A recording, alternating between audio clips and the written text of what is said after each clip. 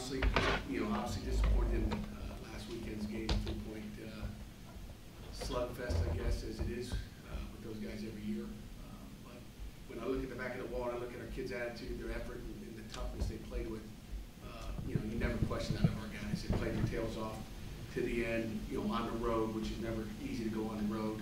Um, You know, we don't do everything perfect as coaches or players, and, and uh, we all, we all make mistakes at times. And, and those are some of the costly things, whether it's a penalty or just a, uh, you know, an error in what to do and how to do it.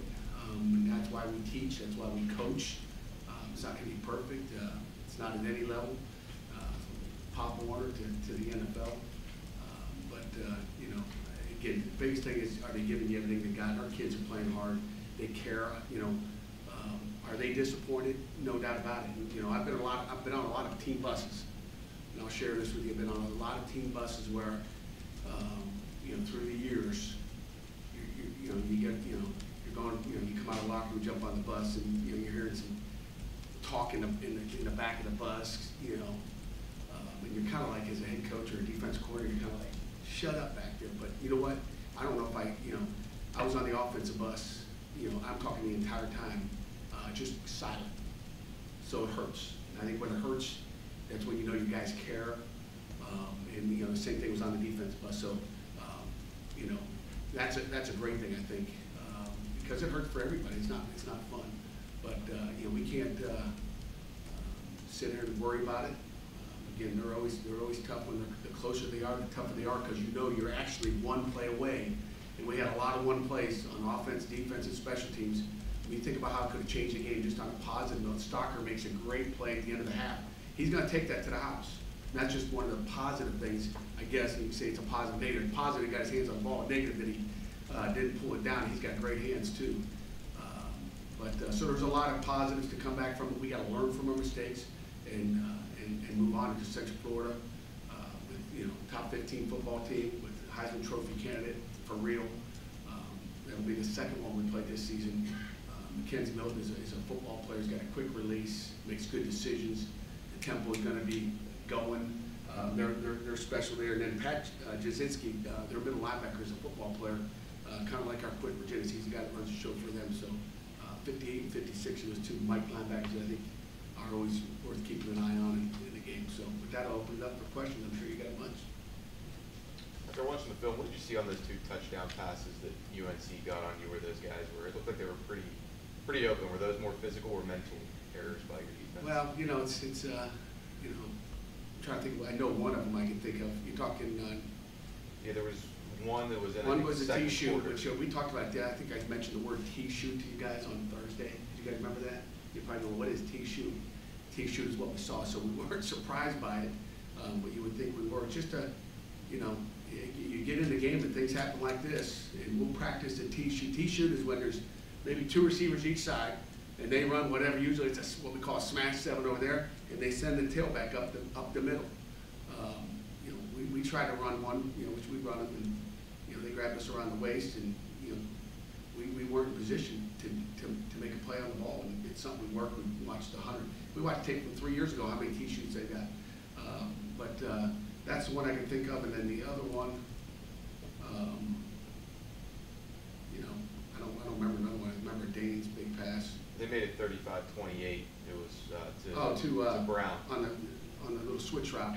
Um, again, just, you know, that was more just physical, really. Uh, you know, we got, we gotta press it up, and we gotta get on the guy, we need to get on him, and, you know, um, something just, you know, probably more physical. So you could say the physical and, you know, mental. I mean, we always talk about physical and mental. They're both, you know, mentally, if you didn't get on the right guy and didn't get on fast enough, it's a little bit of both.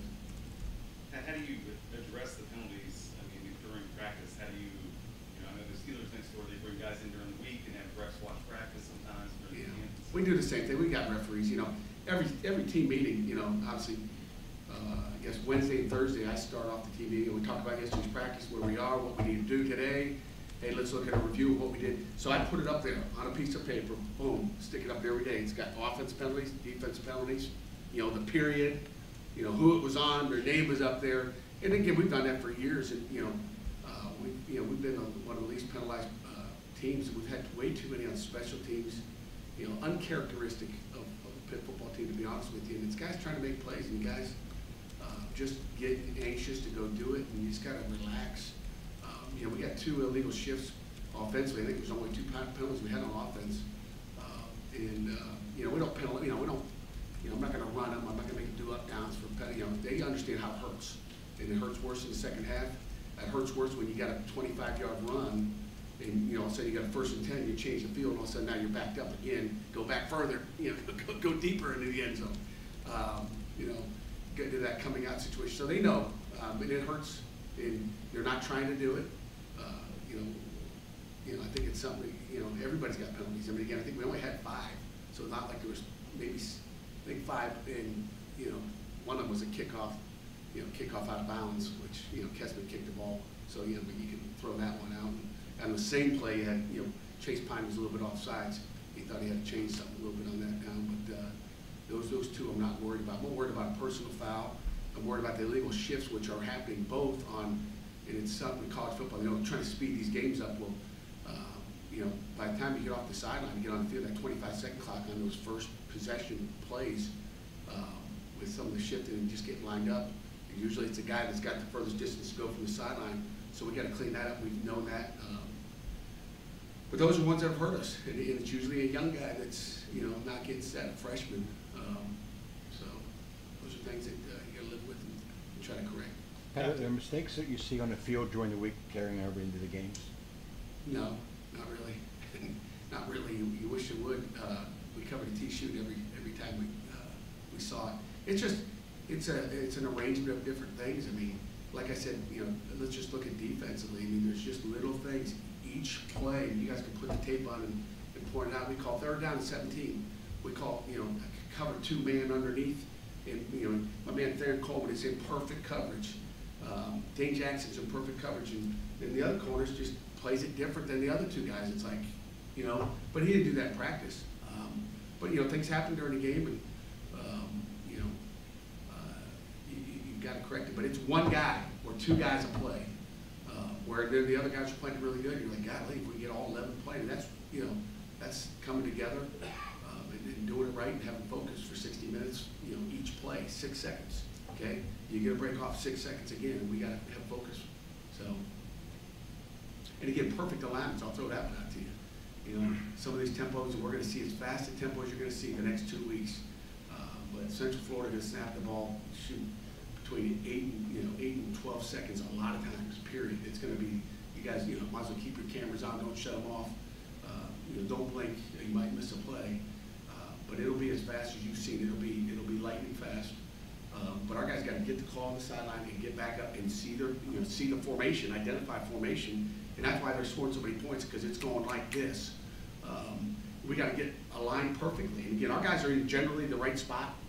Um, But we talk about perfect alignments, and I'm talking this far, that far is a big deal. You know, whether it's a safety alignment on the number two, whether it's a linebacker who thinks he's in a thirty, and should be in a ten.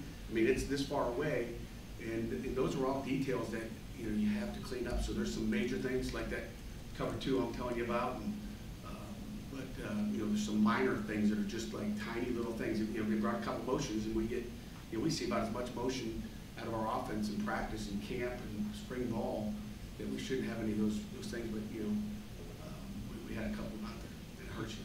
Talk about losing focus and cleaning up details. Are you surprised with all the seniors on defense, and you have to talk about that stuff still? Not really. A lot of times it's not the seniors um, that are having the problems. Every once in a while it pops up, but, you know, no, it doesn't surprise me at all.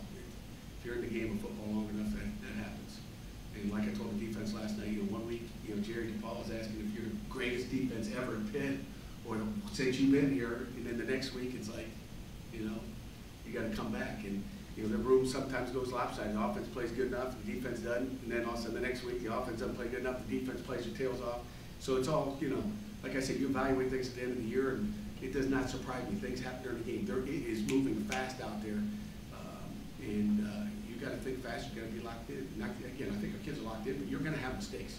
I've never been in a game where you're not gonna have mistakes. But again, one less mistake and we win the football game.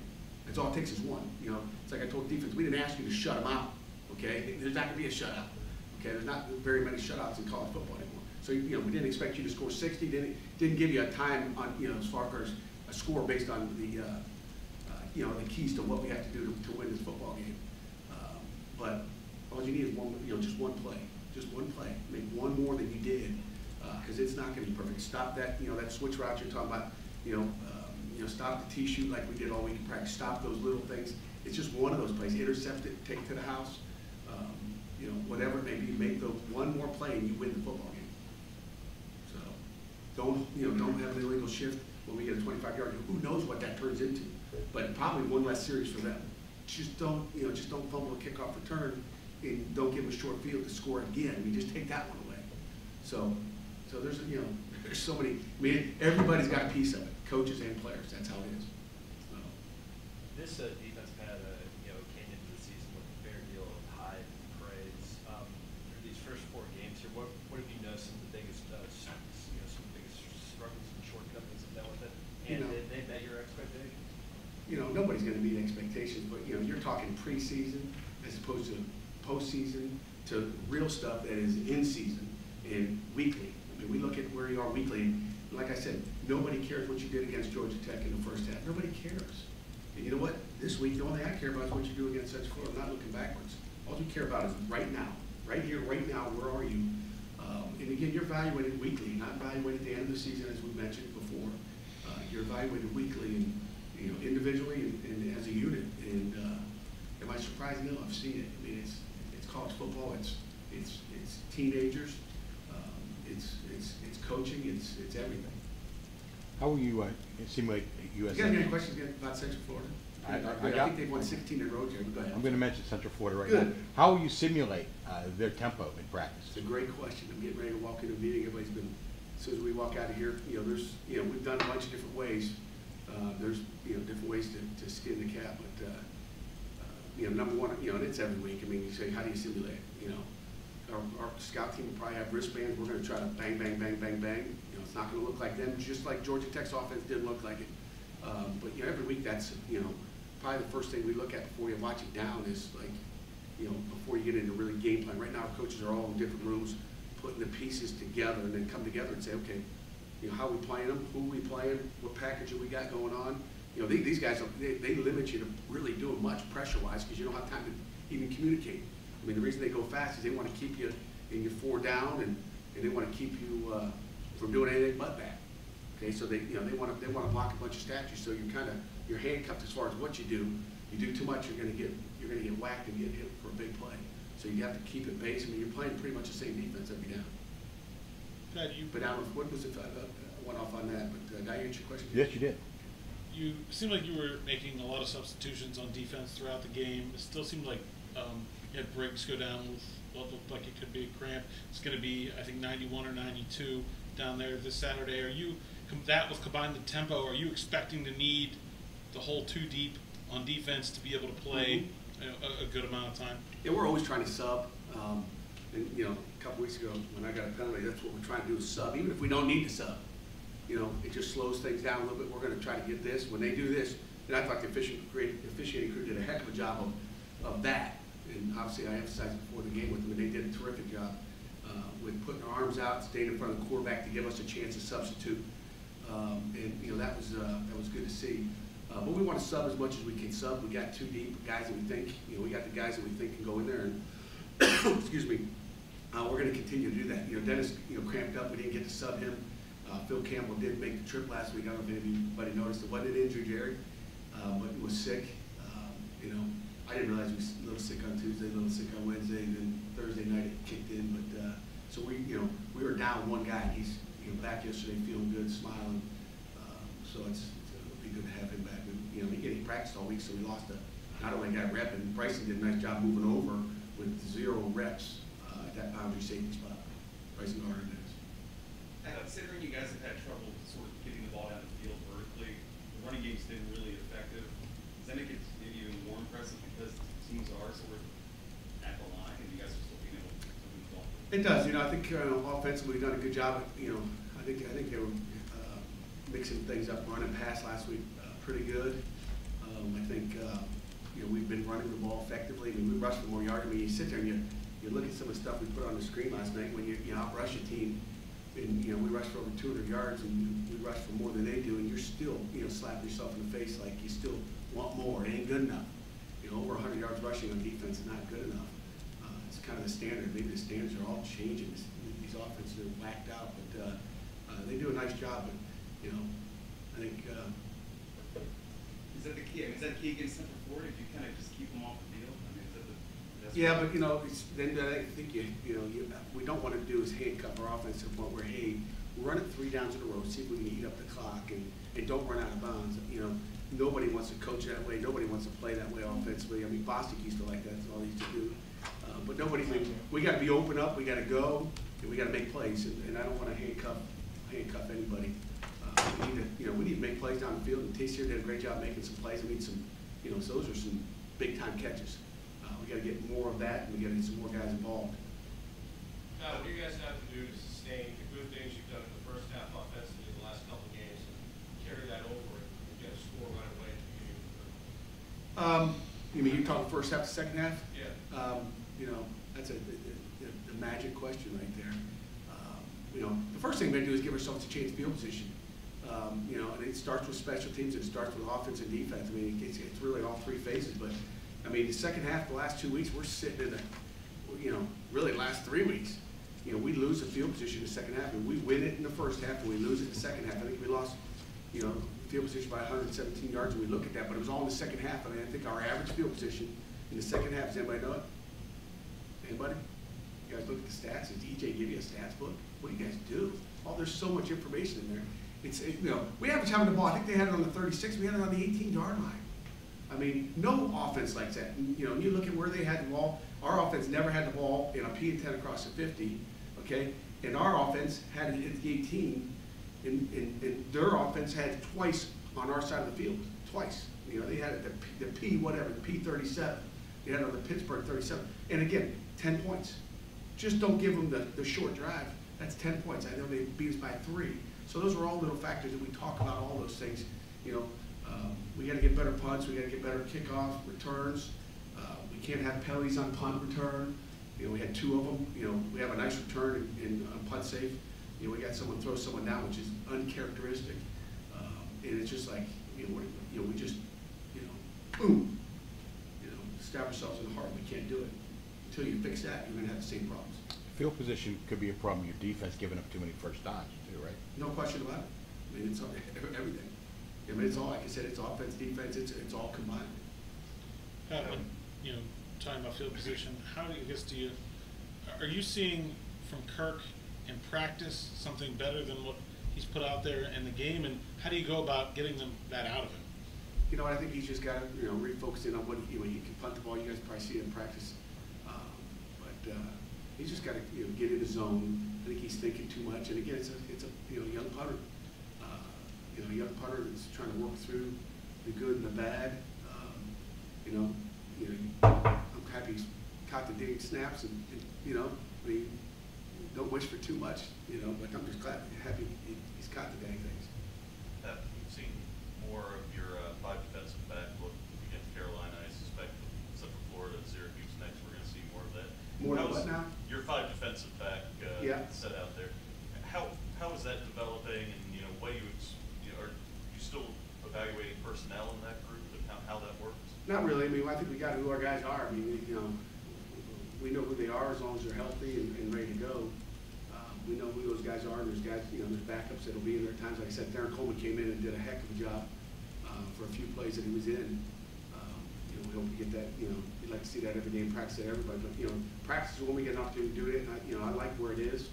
Um, again, it's just details, you know, we, you know, we put some decent pressure, the quarterback got a couple hits, um, but we gotta get some coverage sacks too. Do you expect you're gonna have to rely on that more because of the next two offenses you're gonna see?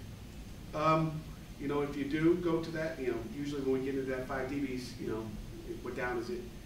Usually third. Usually third down. Um, you start going in some of that on first and second down, you know, you won't have to worry about third down. You'll hit their head on the goalpost, running the ball down your throat. This team likes to run the ball. They're good at running the football. Um, and, uh, and they're, they're fast into it. So switching personnel really isn't an option. Uh, sometimes third down will give you a chance to, to change personnel, but when they sub, we're gonna try to sub, and we'll get our guys out there, but, you know, um, you know, the substitution is the key, and be able to stop the run out of a, a front, you know, that, I- that our three down stuff is, is really for pass. So if you get into that on third down, or on first second down, um, you know, we've got to stop the run, period. I mean, we didn't do that last week to win a football game. You know, I know if you've said that for three years here, you guys probably going, yeah. Um, But, you know, some of these zone teams, we have not stopped it like we need to. Anything final? How, how far would Tipton have run if he had picked up that fumble? Longer than you would have. Well, that's not saying much. You know, you, you know, you may take it to the house. Pat, you told us a lot preseason now how much you like the leadership on this team. Has that been up to your expectations so far, especially bracing yourselves for the stretch that's coming up after an up and down start? No doubt, I mean, we're, we're, you know, the guys we have in this front row here, you know, our, our, our Eagle Council, uh, some sharp guys, I mean, Dennis brings them off today, I mean, the greatest guys in the world, you love these guys. Uh, we got great leadership, like I said, I think the leadership starts with, you know, just the way we, you know, we acted on the airplane and the bus, I mean, the guys are hurt, uh, after losses, and they're happy after wins. Uh, sometimes they're not even happy after wins, you know, uh, because they're so locked into what they want to do. They want perfection, coaches want perfection, and, you're never going to get it. But, you know, you know, you need to be excited after wins, and, and after losses, you should be some disappointment. If there's not, then there's something wrong with your heart. You had talked, And I love our leadership. Craig, we'll give you the last one here. You got one? you had talked going into the Carolina game, Pat, about protecting your own signals and making sure that they weren't the only your guys. When you look back at that game, how do you feel like that went? I don't know. Maybe you gotta ask them. I don't know. I mean, you try to protect them, who knows? I saw, um, I guess maybe it's FAU's got this big, looks like a big black door that they're trying to prevent people from seeing. Maybe we gotta come up with that, you know, we have to have you guys get you a sideline pass, come down, and start to shield some stuff from other sides. Um, but, you know, you can only protect it so much. If you protect it too much, then you, you know, and, and maybe that happened a couple times where you're cut off the safety and he can't see the call and then all of a sudden, you know, he doesn't get it. You know, uh, I know someone thought, you know, at one point we might have been in punt safe when we were defense. Uh, But, uh, I mean, so you can screen them off, but, you know, you can't screen them off our kids either. Coach, thank you very much. I got it. Thank you all.